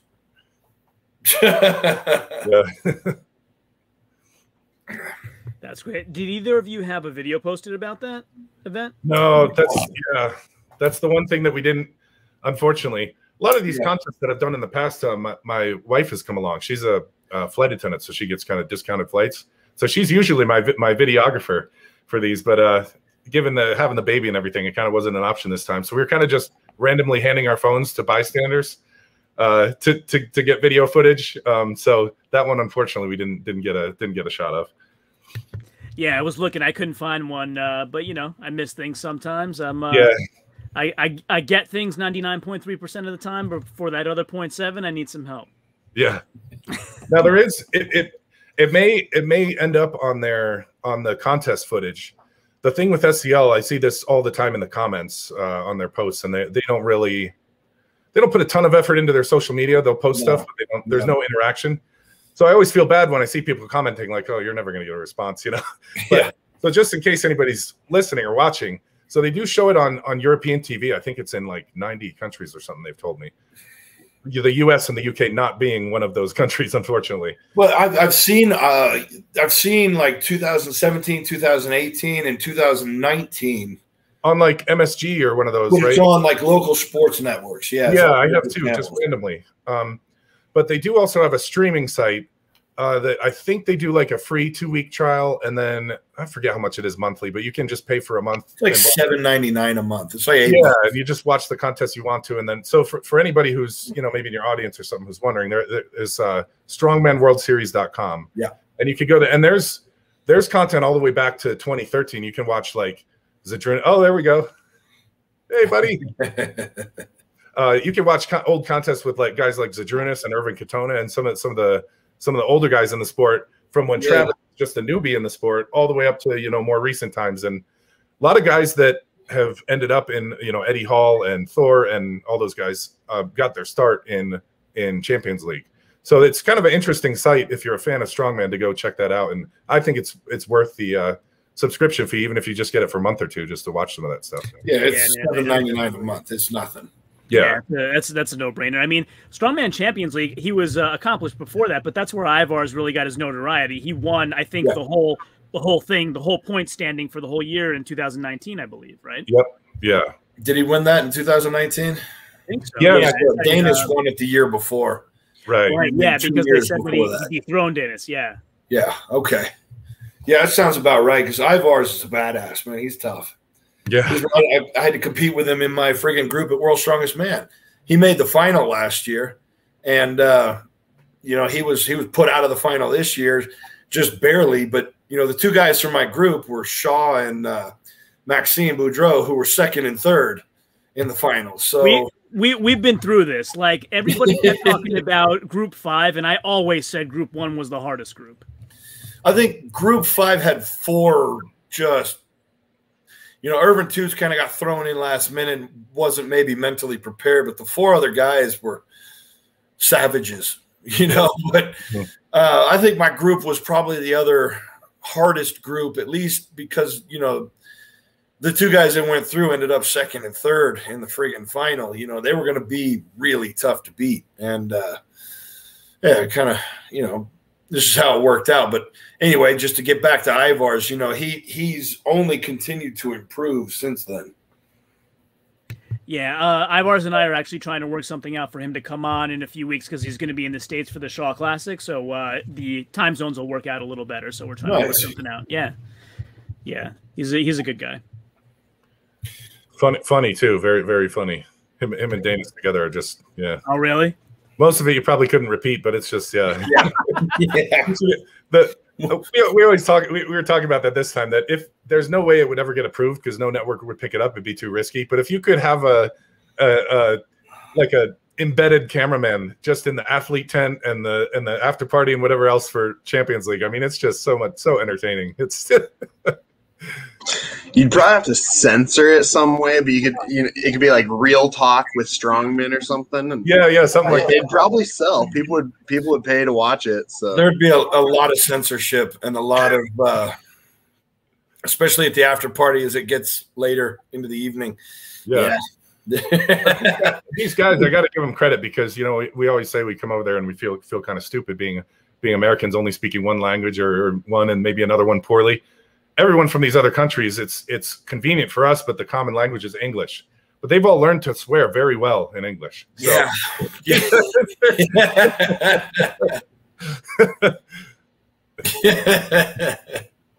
yeah. The other guy that I've been uh, I I got tips that I should interview that he's like a fun loving good interview is uh Christoph Radzikowski. I don't know if you guys have ever come across him at all. I know yeah. Christoph. Oh yeah. I competed yeah. with him uh, one time one time last year in Curacao, but got to compete with him once before. It looks like he's uh, kind of on the road to retirement now. Yeah, that's what Marcel told me. He's retired, so it'd be it'd still be fun to have an interview because he's probably got a you know enough stories to go forever. he was one of the guys. Uh, he is a couple spots ahead of me on that all-time list of greatest strongmen. Uh, I think I was number 14 but since I've been back to Worlds, I would have enough points, I think, to beat Geoff Capes in the 13th spot. Um, I think it was Geoff Capes that was right ahead of me. But uh, Christoph was like 8th mm-hmm. from the sheer volume of contests, you know, national championships and, and international shows that he's done, in addition to World's Strongest Man and, you know, top placing in so many of them.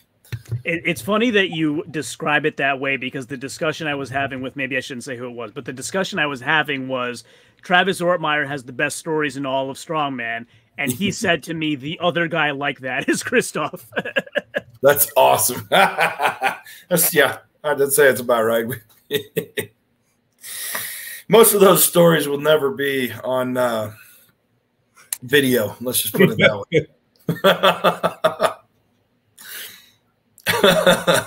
That's funny. They're for the uh, after live stream chat. Yeah, exactly. yeah. Live stream after dark. So uh, we've been talking about a lot of really interesting stuff. Got to learn all about both of your uh, SCL competitions and uh, get some more details and behind the scenes stuff on what happened there. Anything you guys want to plug, or you know, kind of as you decompress from those shows, what you have on the horizon for the future that you might want to discuss before we wrap up for the evening? I'll let Jonathan go first if you got anything. Yeah, I guess uh, future coming up. Um, my goal this year, I'm, I'm kind of putting most of my eggs in one basket with SCL and try, trying to make the finals. So uh, the way they do it is interesting because there's 16 competitions. You you can either do really well at one or two and accrue a lot of points that way, or you can do you know if you're finishing in the middle of the pack, you might have to do a few more contests and. Um, but it's basically total points at the end of the season determines who goes to the finals. I think it's top 12. And uh, I started off with some points because I was able to compete last year in in uh, Norway before things started shutting down. Um, so if I if I can get, uh, unfortunately with with Portugal, I didn't get as many points as I was hoping um, with that one. But if I could get a, another contest, I think I might have a good shot at making the finals and um, see how I do this year uh, going there. I've also signed up for uh, strong official strongman games, which is like a Giants Live qualifier. Um, that's in November, and then I may do the show in uh, the one the one we were talking about the beginning with um, uh, the Manning brothers show in uh, in uh, Colorado. So probably probably two or three more shows for the rest of the year, but I got to get this back injury sorted out first. And then um, as far as plugs, I, I have a I work with Tuff Wraps for equipment, um, uh, so you can check them out. They make you know knee sleeves and all that stuff. And then uh, um, Fusion Sport Performance is my supplement guy that I work with.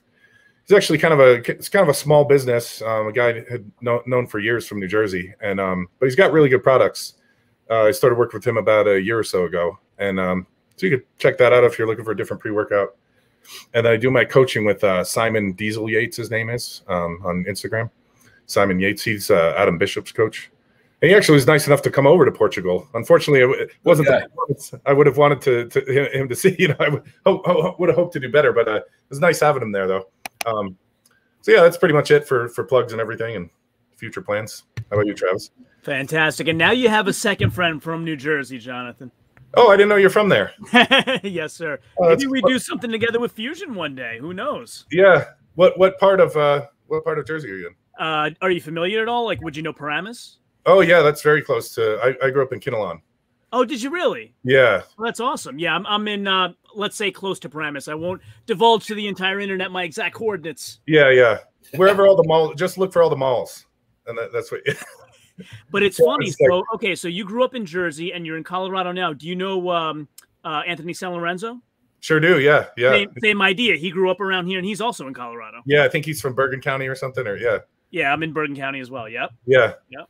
Hey, well, next time we gotta we, we gotta like have a party for the holidays. You guys come on over. We'll uh, grab some good pizza or something. My uh, my brother actually trains with Johnny Wazico, who's down in uh, he's a 105 kilo pro. He's down in um, Clark, I think, is where his gym is. He is. Um, are, are you are you familiar with him? Of course, Johnny was. Yeah. yeah. he was at he was at Clash on the Coast. Johnny and I have uh, talked a little bit on Instagram. I'm trying to actually put together something with him where um, I'm a member of a professional network, and uh, we're looking okay. for like you know perks for the network. So I reached out to him like, "Hey, would you be interested in uh, doing something out of your gym, like an intro to strongman for someone who's never done it before, and maybe we do like a group rate or whatever." So I think that'll be pretty cool. But yeah, Johnny Waz is awesome. Yeah. He just competed in Russia recently. Yeah, he did. Yeah, he, won uh, the Masters, 105 Masters or something. It's pretty pretty cool. But uh, yeah, he's definitely. My brother trains with him regularly, and I do when I go back and visit. And he's another guy that's just a wealth of information. He's been been in the sport a long time. So that's awesome. Definitely yeah, some good shout out when you're back in the area, man. I'd, I'd love to hang out. Yeah, yeah, yeah. New Jersey doesn't have a bad, uh, not a bad strongman scene though. But anyway, yeah, for sure. Cool. But go ahead, go ahead, Travis. What do you have on the horizon? Oh, uh, couple seminars. Got World's Strongest Seminar September 4th in San Antonio.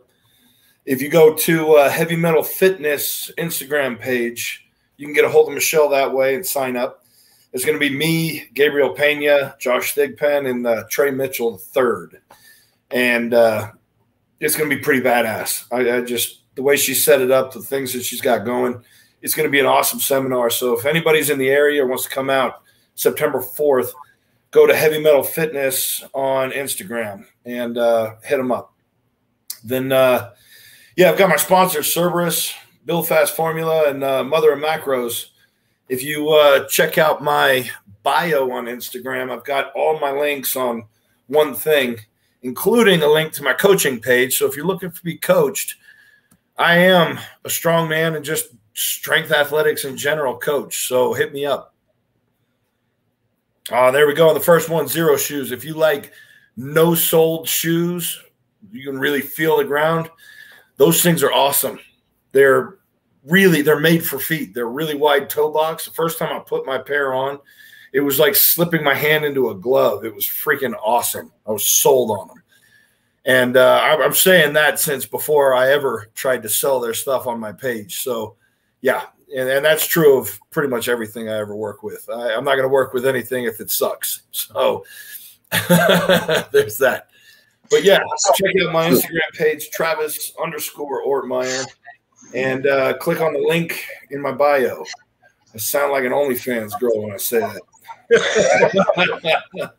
well, which you know, we were speaking of OnlyFans, we were talking about some of the interesting requests we've both gotten over uh, DMs, and yeah, it's stories of that too. Some inter- interesting stuff people decide. I'm still waiting. If I get that offer for five hundred dollars for my used underwear, hundred percent. You better bet your ass I'm selling them. Has, has this happened since SCL this year or before that? What's that? Since has this happened since SCL this year or before that? You know what? I haven't checked all my uh, message requests since I got home, so I can't say. But yeah, before that, I mean, I had o- over the years, you just you you accumulate some real interesting requests and messages. Just people are weird, man. People are freaking weird. Which you know, no judgment here, whatever you're into. As long Yeah. as you're not trying to force it on someone else, you do you do you, pal. I mean, I, I think there's only like one logical thing to ask for. I would like an Atlas stone that Travis Ortmayer lifted. That'd be kind of all right. Yeah.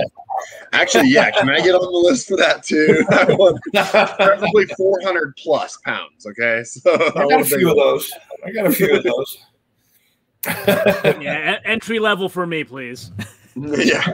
Actually, on that topic, I um someone asked me about this about two weeks ago, and I I figured it was a great comment or a great question to ask Travis specifically when he comes on. Um, but someone that I know, he competes in powerlifting and he's considering switching to strongman, but he doesn't have any a- access to Atlas stones. Um, and so basically what he wanted my opinion on um, was how much does a deadlift, training a deadlift, translate over to lifting Atlas stones? Not And I basically told him- I mean, Yeah, okay. there's so many different biomechanics that come into play. I mean, how long are his arms? How how big is his gut? No, he's, Um, he's a, a shorter, stocky fellow. So, I mean, if, if you've got arms that can get around the stone, obviously it's going to make all the difference because lifting a 400 pound stone, all you need technically is a little over a 400 pound deadlift. I mean, uh, or maybe a deficit deadlift because your hands are all the way at your feet. But if you can't get your arms around it, you could have a 900 pound deadlift and not be able to lift a 400 pound stone mm-hmm. because it's all about the grip. It's all about the arms on the stone. So nowadays we have the benefit of some of the ridiculous tacky that we have out there. You know, when I first set, when I first broke the 500 pound barrier with the with Atlas stones, it was 2006. I think it was a week after the Arnold in 2006, or a week before the Arnold 2006. And, uh, you know, the tacky that we had was the old school Harpix Ray Ban handball glue. It was nothing super special. It was just uh, what modern day tacky, it would kind of be equated to some of the cold weather tacky that's almost like syrup when it gets warm. And it just so happened that that stuff worked pretty decently well in Houston in March because it was only, you know, 80 degrees instead of 110 degrees. You know, but uh back to what I, the original point was, we have tacky that is so good nowadays that you know, guys like Eddie Hall who would just slather some of that elite stuff on, they could just stick to the side of the stone and then just kind of all they do is pull it to their belly and then use their belly to put it up. So if you can master that technique, then he would be fine. He would just need to have the arm strength, you know, enough to pull it into his body and then his body strength enough to load the stone. So yeah, I guess uh, you know, in a roundabout sort of way, the deadlift only matters in as much as it needs to be a little bit higher than the stone you plan to lift. The deficit deadlift. So does that all make sense? Yeah, and that's that's that's basically what I told him. But I was like, I I have someone who's well renowned for lifting stones coming on the channel in a little bit, and I'm, I'm going to ask him. So, um, yeah, move. basically, because yeah, like when I first started training stones, within a short matter of time, I'd done the 365 with no tacky, and then I did a 385 for a double with tacky. Um, and that was before I, I had a 600 pound deadlift. And so it was one of those things where I was like, okay, cool. And then I was watching some of the other guys at the gym doing it. And there were a couple guys that had an 800 plus deadlift and they couldn't budge the 365. And so I, I told him about that. And I was like, it's, it's kind of one of those things where some people are just better at it due to, yeah, like arm length. Or I think part of it too, like I grew up working on dairy farms and just moving around weird, funky equipment all the time.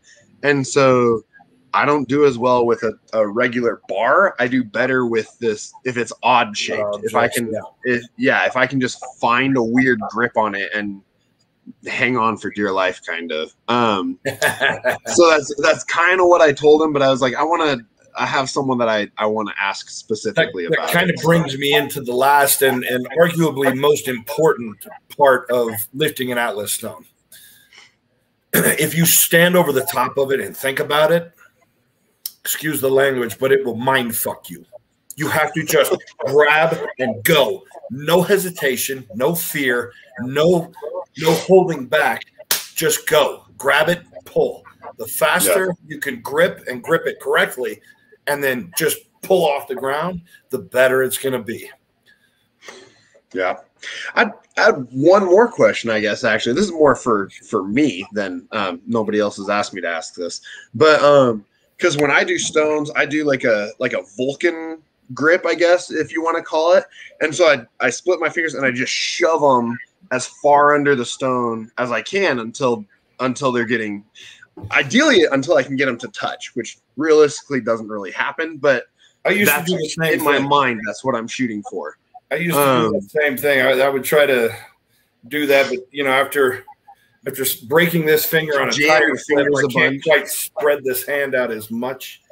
I can do it with my left fine, but this one it doesn't quite go as far. So li- just live long. It's it's lacking the prosper. You know? I gotta live long and prosper with that hand, but Yeah. but uh, yeah, you know, now I don't think I mess with trying to jam my fingers that far under. I think I just I get them under. I feel the ground because you start smashing your fingernails, and then you just go. Yeah. Okay. Yeah, that was that's kind of how I've been doing it. And then I I was working with someone else who was just trying stones. And the, the first time he did it, he tried to do that and caught his fingernail on like a little pebble or something in the concrete or something.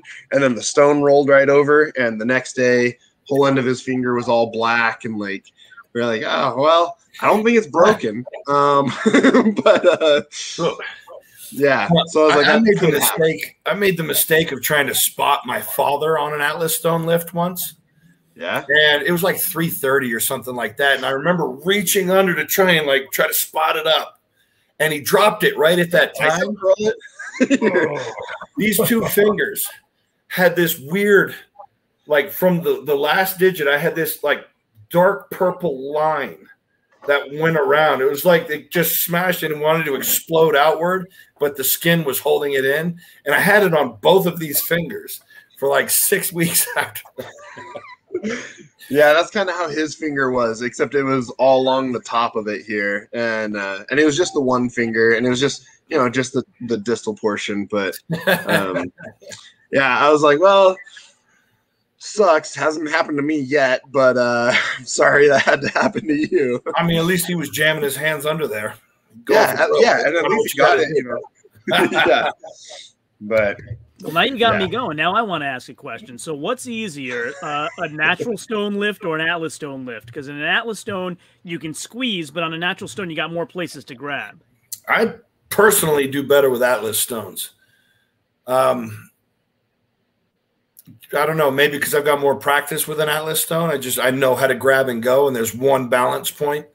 With a natural stone, you got to really figure out the balance points. There may be a lot of hand grips, but there may only be one that is viable.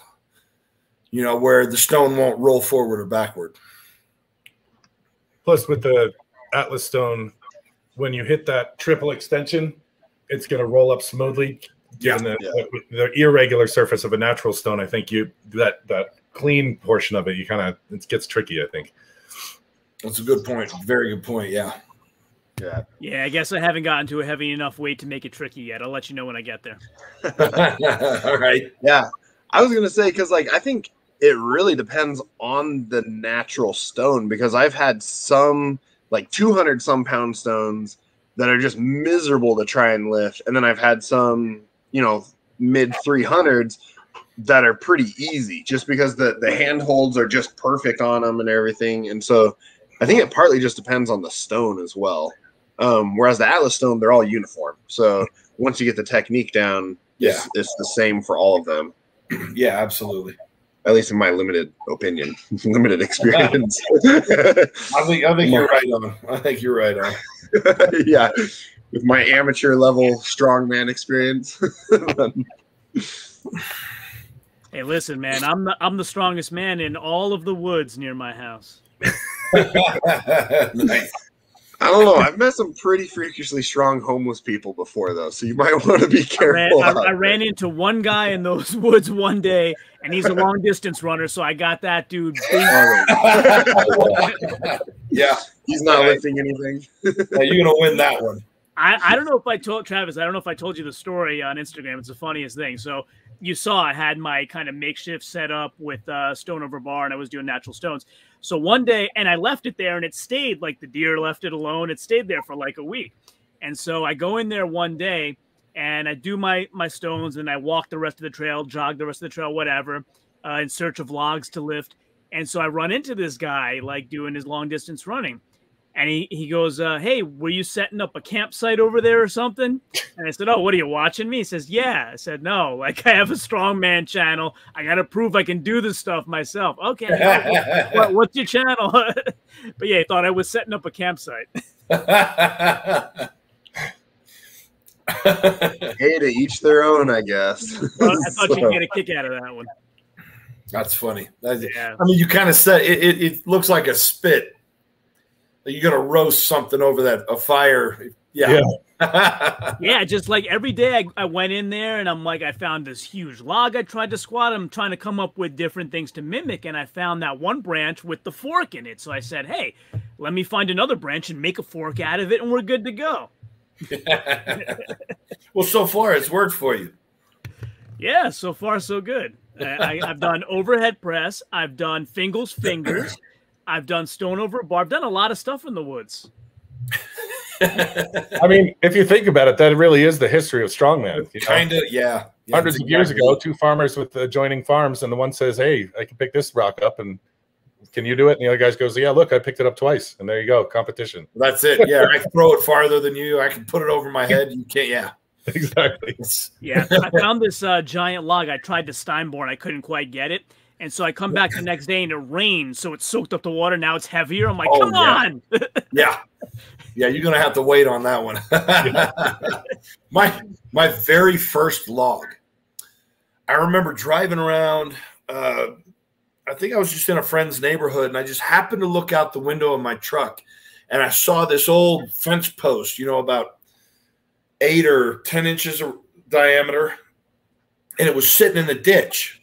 And so I'm like, "There, there, that's a log right there. Let's do that." And uh, I, you know, I had I was 20 years old. I didn't have any freaking clue what I was doing. So I pull over and I pull this thing out of a wet ditch, throw it in the back of my truck. I'm like, God dang, this thing is so heavy. I don't know if there's any chance I'll be able to press it, but whatever, we'll give it hell and we'll grow into it.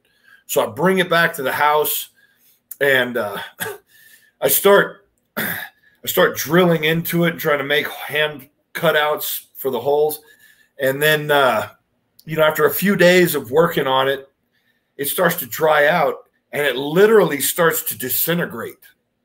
And so I take a roll of duct tape and I'm trying to tape this whole thing together. I'm like, I put in so much work so far. I don't want to lose it now.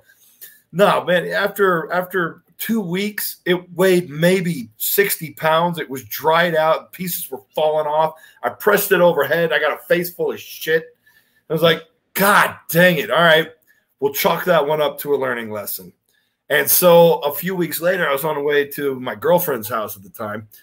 And right in front of her neighborhood is a four way stop. They had a brand new telephone pole on each corner. Now, this was like Friday evening. So I figured they were going to put it up Monday. So I went to a friend of mine's house. I went over to a buddy's house and I asked him to borrow his chainsaw. And, you know, he said, Yeah, sure. What are you going to use it for? I'm like, You don't want to know. Just let me borrow your chainsaw. So Sunday night, I pull up on the side of the road right next to one of these uh, telephone poles, crank the chainsaw cut two sections out of it, throw it in the back of my truck, and take off. I went to my girlfriend's house the next day. Three of them were up, and that fourth one was still laying there. So I can't, I can't imagine what those guys were thinking. Like, what hell happened to this thing? well, that Who was, uh, steals uh, telephone poles? exactly. But I, I, just happened to cut a section that when I, I cut the handle handles out of it, it weighed right at 200 pounds, and those things are soaked in all kinds of nasty shit. I probably don't even want to know. Um, so it it was tough, and it lasted a really long time, and uh, that turned out to be a really good log. uh, you know, a good log that that may or may not have given me cancer at some point in my life later on. Who knows? Uh, but no, that one that one worked out well, and I employed the lessons from that failed disaster beforehand, and uh, you know I learned a few things. So it probably worked out for the best. but that's my story on how I got my first log. It's a great story, just like all your stories are. awesome. So let's. Uh, why don't we wrap it up, gentlemen? Thank you so much for joining us uh, again this evening, talking about Strongman Champions League, Finland, Portugal, and a whole bunch of other stuff. Uh, we really do appreciate it, and uh, maybe we talk again after your next competition. What do you say? Hell yeah, absolutely. Definitely, awesome. yeah. All yeah, right. Thanks for having me on. Thanks, guys, and of course for everybody mm-hmm. watching. As always, until next time. Ciao, homie.